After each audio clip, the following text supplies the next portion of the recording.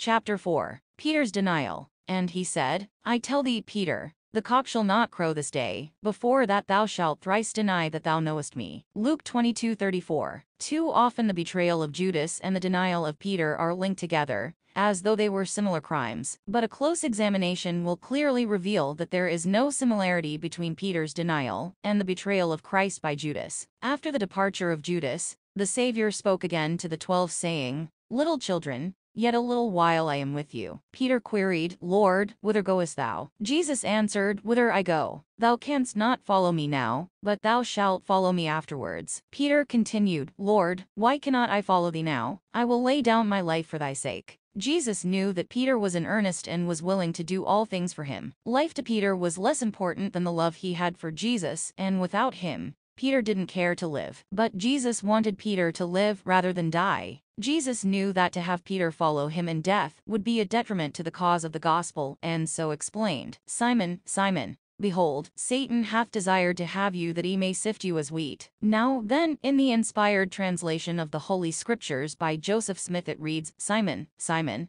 Behold, Satan hath desired you that he may sift the children of the kingdom as wheat. This renders a better insight to the greatness of Peter. Satan well knew that if he could thwart Peter, he would be able to sift and scatter all the children of the kingdom. The responsibility of keeping the church together rested upon Peter. Peter's mission was not yet finished. There were many important events that must be accomplished before Peter was to follow his master in death. He must stay alive for a while at least, to protect the flock. Jesus again spoke to the twelve, saying, All ye shall be offended because of me this night. For it is written, I will smite the shepherd, and the sheep of the flock shall be scattered abroad. Peter searched his soul trying to discover what he might say or do that would bring about this insolence. He could discover nothing, furthermore, he could not conceive of doing such a deed. So Peter replied to Jesus, Though all men shall be offended because of thee, yet will I never be offended. But Jesus answered, I say unto thee, that this night, before the cock crows, thou shalt deny me thrice. Peter said unto him, Though I should die with thee, yet will I not deny thee. Likewise also said all the disciples. Matt 26 34-35. These are challenges the devil delights to hear. Only too quick too sure, are the good intentions of men, for the moment they have confidence in themselves, they expose themselves to the open door of temptation. It is only in fear and trembling that men have a chance for salvation, because no man is infallible, nor does he have the assurance that he is beyond the grasp of demons and devils. Later that evening, when the soldiers came out of the dark and captured Jesus, it was a shock to the eleven apostles. They stood in amazement, and one replied, Lord, shall we smite with the sword? Peter saw what was about to happen to his Lord, and wasn't waiting for any answers. He grabbed a sword and churned the air as he lunged toward the soldiers. They scattered and dodged, but one never quite escaped the wrath of Peter. With a swish of Peter's sword, the man's ear flew to the ground. The soldier was Malchus, a servant of the high priest. Jesus then rescued Peter from making a serious situation worse, and said, Suffer ye thus far after which he picked up the ear, replaced it upon Malchus's head and with healing powers, restored it as it was before. Turning again to Peter he admonished, all they that take the sword shall perish by the sword. Peter then relinquished his fury and sorrow, and replaced the sword to its scabbard. To further explain the necessity of such things, Jesus continued, Thinkest thou that I cannot now pray to my Father, and he shall presently give me more than twelve legions of angels? But how then shall the scriptures be fulfilled, that thus it must be? And, the cup which my Father hath given me, shall I not drink it? Turning to the chief priests, he said, But this is your hour, and the power of darkness. The soldiers bound the hands of their captive in cords and led him away. It was truly an hour of darkness. It was useless for the apostles to contend against the forces that took their master. They were left alone. In that deep, depressing, foreboding feeling which comes into every man's life, they were left in despair.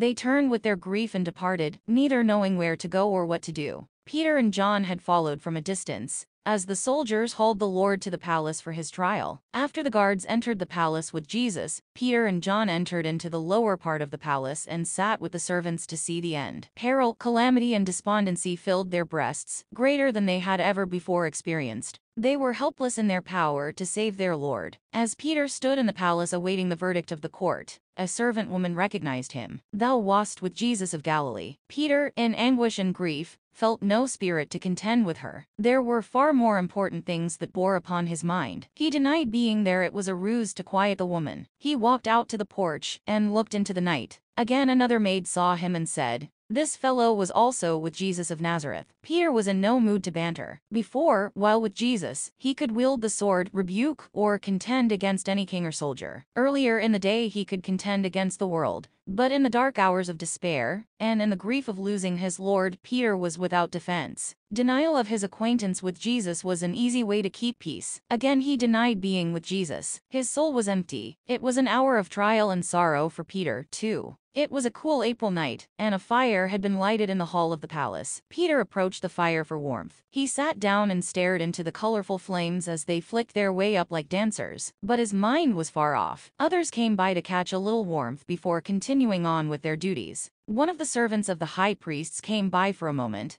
and looking down upon the humped-over figure of Peter, he recognized him. The servant was Malchus, the very man who lost his ear by the hand of this man Peter. Did not I see thee in the garden with him? It was the last straw upon Peter's back, and he gave way. In the fury of his anger, he arose from his seat and began to shout and swear, declaring for a third time, I know not the man. His voice was like thunder, and silence fell upon everyone. And the far distance there was another sound faint, but audible. It was the crowing of the cock. As Peter's ears heard the crowing, his heart melted. Another prophecy of Jesus's had been fulfilled, and Peter was crushed. In heartbreaking sobs as only few men ever know, Peter vanished into the night, a broken-hearted man. Peter did not deny that Christ was the Messiah. Peter only denied knowing him or being associated with him. When he heard the cock crow, Peter realized the human frailties of himself and even the other apostles. Peter's heart was always with Jesus, but on this one occasion, not his tongue. Judas gave lip service praise and a kiss, but his heart was black and filled with murder. Peter would do anything for the Savior, Judas would do nothing. Apocryphal history has passed down the story of Peter's capture and imprisonment by the barbaric Romans. In a final effort to bend or break the will of Peter, his enemies let out Peter's wife to be executed before his eyes. Undaunted in his faith in Christ, he shouted to her, Remember the Lord. Then after her death they took Peter to be crucified. This was according to the prophecy of Jesus when he told Peter of his own crucifixion but said, Thou canst not follow me now,